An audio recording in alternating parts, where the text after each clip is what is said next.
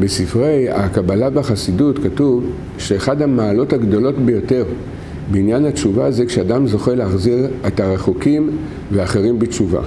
על ידי שאדם זוכה להחזיר אחרים בתשובה, על ידי זה מתמתקים עליו כל הדינים. וגם אם חס ושלום נגזרו עליו איסורים, על ידי זה מתבטלים כל האיסורים.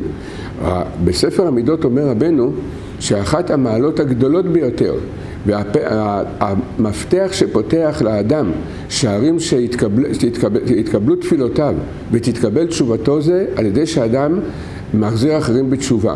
להחזיר אחרים בתשובה זה ככל שאנחנו זוכים גם עם חברים וגם אפילו שאנשים כבר מתחזקים בתשובה. אבל ביחד אנחנו מתחזקים בדיבורי אמונה, לדבר מה, מהמלכות של הקדוש ברוך הוא, מהאמונה בקדוש ברוך הוא, וכלול בזה גם לדבר משבח הצדיקים, לספר על גדולתם של הצדיקים, כל זה גם כלול בעניין של להחזיר רחוקים בתשובה.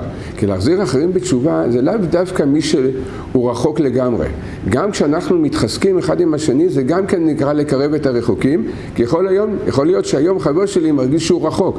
אני מחזק אותו, מעודד אותו, על ידי זה אנחנו מחזירים בתשובה, ועל ידי זה אנחנו מתבטלים כל האיסורים וכל הדינים מעלינו. וכמו שרבנו אומר, וגם אם חס ושלום נגזר על האדם גזרה, על ידי זה מתבטלים מעליו הגזרות.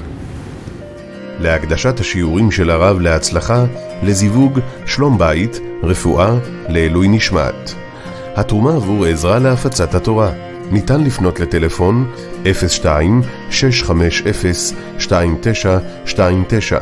תודה רבה ותזכו למצוות. הירשמו לערוץ של הרב ויישארו מעודכנים.